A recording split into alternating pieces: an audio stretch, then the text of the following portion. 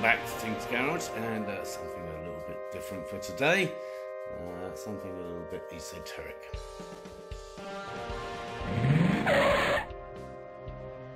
Yes, I'll be deciding uh, my favourite top five of cars I've actually owned. Uh, so let's kick off with the full list. It's uh, somewhat eclectic and uh, random, uh, it has to be said. Uh, but situations change in life and you have to make decisions you rather wouldn't have to. Uh, so uh, let's get rid of some of those straight off the bat. And a handful more just to cut it down to a top 10. So there we have it, uh, a top 10 list to choose from. Hmm. This is going to be hard, and there's going to be some random criteria involved. Um, so it's not just my favourite, it's best all round, that kind of thing. Um, yeah, you'll see as we go. And in at number six, wait, uh, he said five. Well, yeah, I know. But, uh, couldn't leave this one. In out. fact, I left it off the original list even. Um, but there you go. There's a spec. I'm not really going to run through that. You can read it for yourself. Obviously, very uh, decent performance for that era, as one would expect for the Corvette. Uh, always good bang for your buck. Traditional conventional layout for the Corvette, uh, front engined rear wheel drive, very nice too. Why they stopped short of the 200 miles an hour top speed by two, I do not know. Anyway, why do I personally like it so much? Well, I've always been a Corvette fan. Uh, I had a 69 Stingray, as you probably saw in the original list. Stunningly beautiful car, uh, not so good to drive though. But I owned both my Corvettes in the UK, where they were rather special and uh, not your everyday car. Mine was, in fact, one of the first two imported into the country. Did it myself. So, what did I particularly like about it? Where should we start? Well, first off, and uh, by no means least, uh, I had kind of lost interest in Formula One and was a fan of uh, sports car racing, particularly the American Le Mans series and, of course, Le Mans itself classic race that everyone should visit at least once. I went pretty much every year. And in their class, uh, GT1 or whatever, um, Corvette were, of course, very competitive and often winners of the 24 hour at Le Mans. So, this car came with a racing pedigree. And that endurance racing, no doubt, had something to do uh, with the incredible reliability of this car. I owned it from uh, 2006 all the way through to 2012, and nothing ever went wrong with it.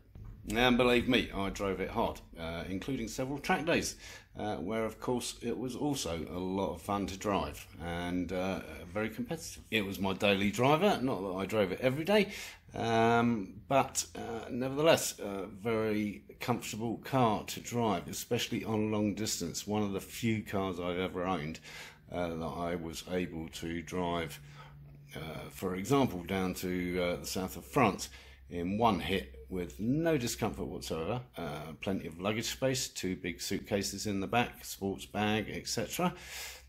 So a proper GT car. I could go on, uh, but we're already uh, nearly three minutes in, and uh, it's supposed to be a top five, and we haven't even started yet. So get on with it.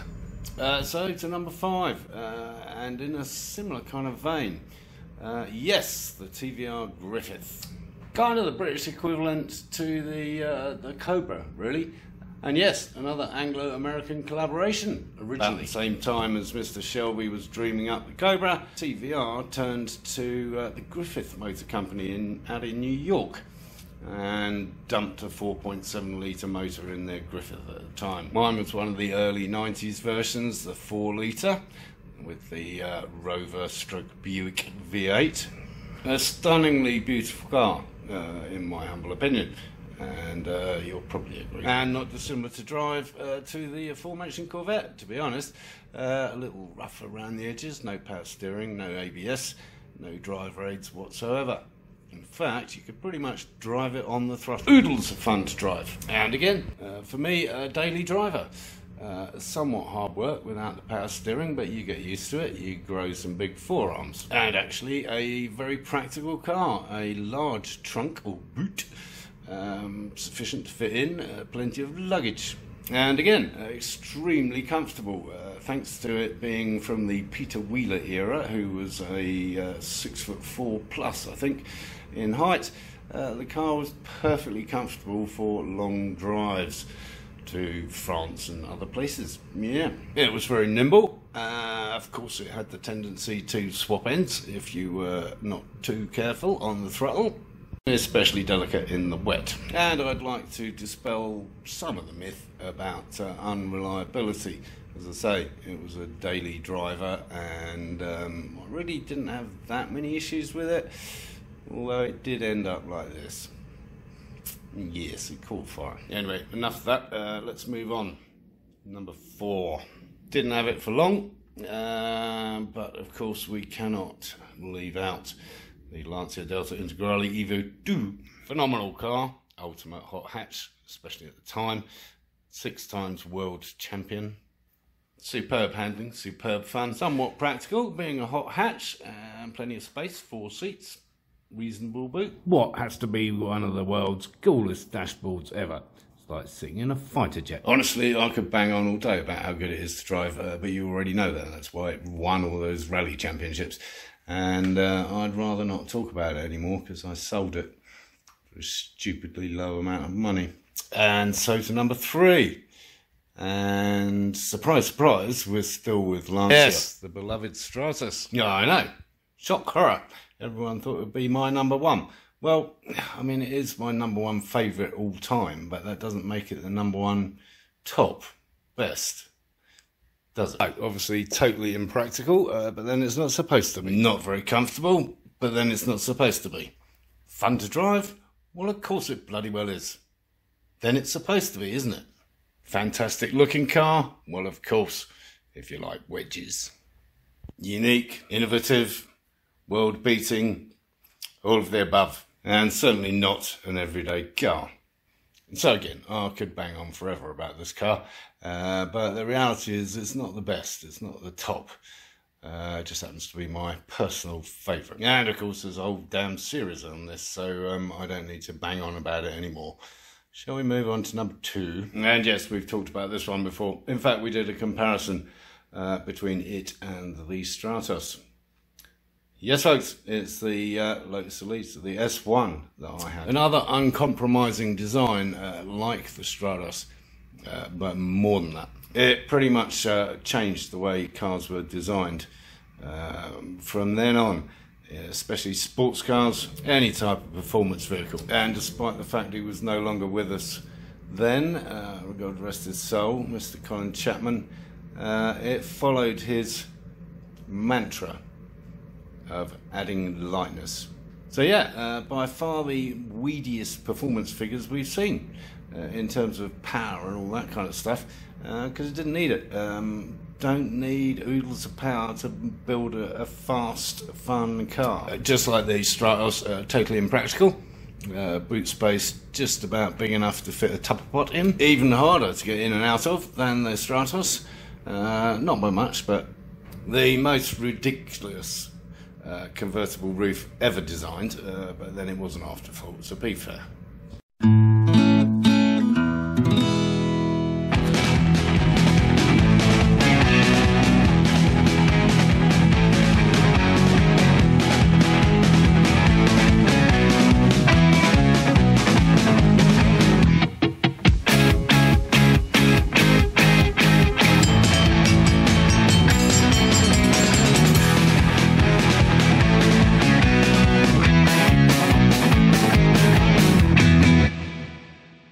But yeah, uh, groundbreaking design aside, just a fabulous car to drive. I mean, the handling is sublime. It is unbelievable. I've said it before, uh, but a friend of mine at the time, a uh, very quick driver, quicker than me, uh, Subaru Impreza Turbo, could not keep up with the Lotus Elise. Uh, took an ex-girlfriend out in it. Um, uh, she had to go to the doctor a week later and found out she was suffering from whiplash uh, just from the cornering. So just an astonishing car all round. Uh, really should be number one, I suppose, but it isn't. What on earth has he got? Has he bought a new car? Is it a McLaren F1? Well, I wish it was.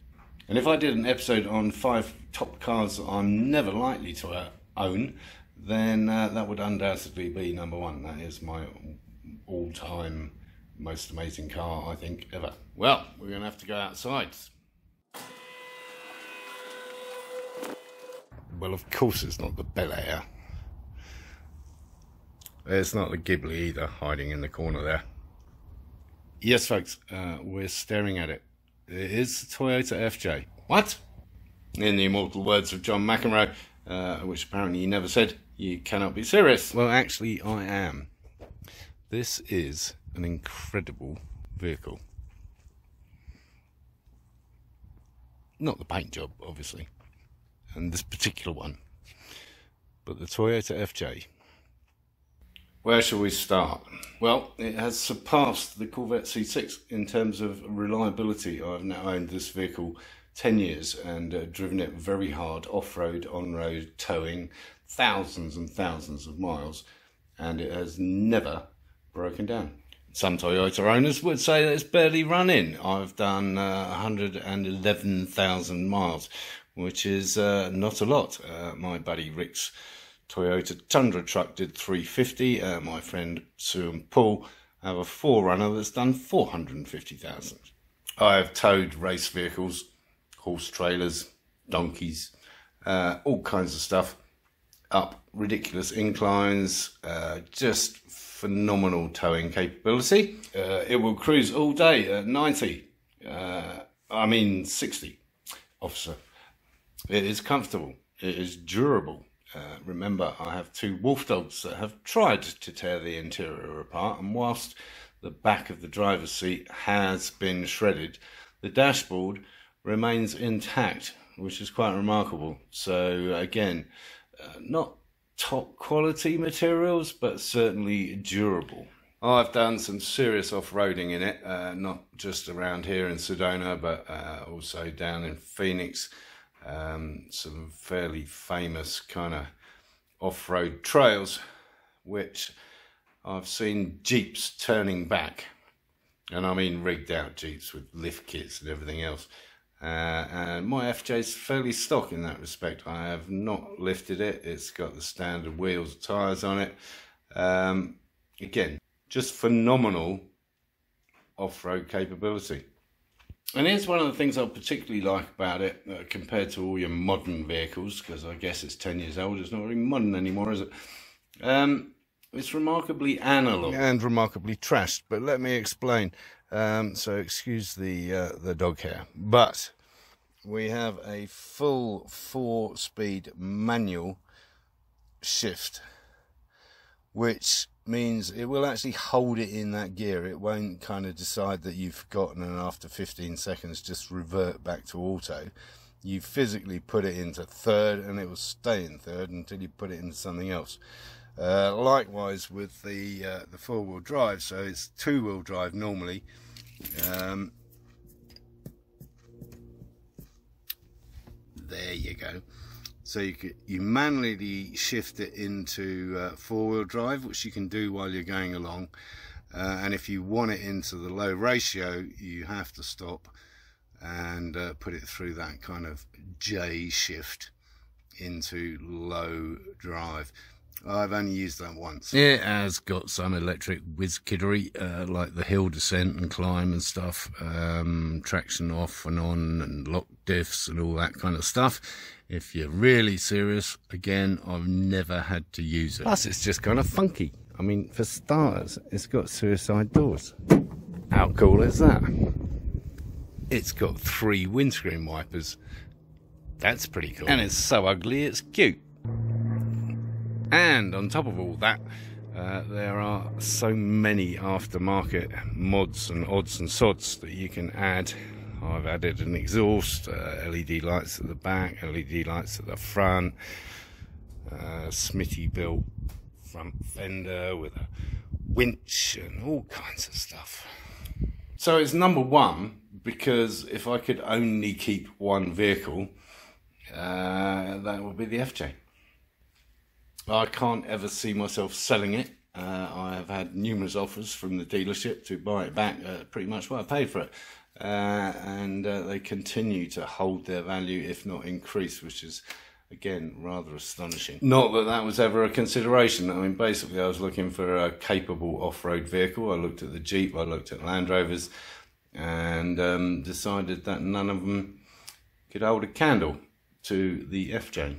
It is in a terrible state and um, will remain so until, um, sadly, one day the uh, wolf dogs will pass, and uh, at that point, I will kind of probably gut it and put some racing seats in there and, and make it a like an off roady type thing. I don't know. I haven't really thought about it. But in the meantime, best car I ever owned. So, as always, uh, thanks for watching. If you thought the video was any good, give it a thumbs up. If you haven't already, subscribe down here somewhere I'm going to be doing some more of this kind of stuff as well uh, on the channel so uh, stay tuned and uh, of course encourage others to watch my lunacy